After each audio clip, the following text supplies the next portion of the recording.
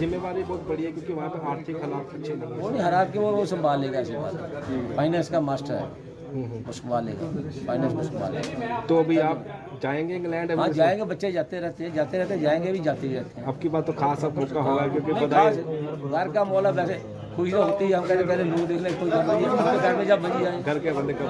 जब वही जाए पहले तो लोगों को होता है हमें हमारा तो घर गाय है हमसे हम कहते हमसे मिले थे वो प्राइम से मिले रही तो लोग हमें मिलकर खुश होते हैं अभी हमें प्राइमरी से मिल लिया।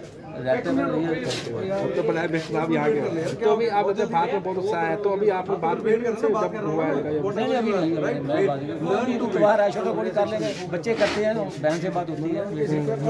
जो कज़न है उनसे बातें करते रहते बच्चे भारत में बहुत उत्साह है भारत के लोग खुश है। भारत खुश है सारा हिंदुस्तान खुश है। खुशी का देखो दो सौ कोई कोई आदमी मुलाजम हो मुलाजम आदमी मालिक पर राज करे बिठा बिठा दे राज करे उन्होंने बिठाया है। उसको इतना समझदार समझा कि उसको वहाँ गद्दी पर बिठाया है। मतलब खुशी का इजहार कमी नहीं कोई खुशी। खुशी का सारा माहौल खुश है सारा हिंदुस्तान खुश। है हम तो खुश हो रहे हैं ना हिंदुस्तान खुश है।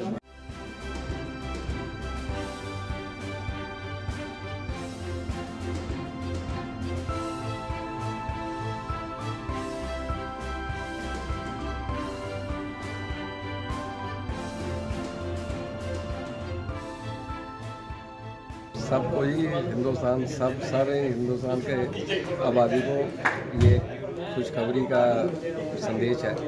ये हिंदुस्तानी मूल के जो है वो प्राइम मिनिस्टर बने हैं यूके के।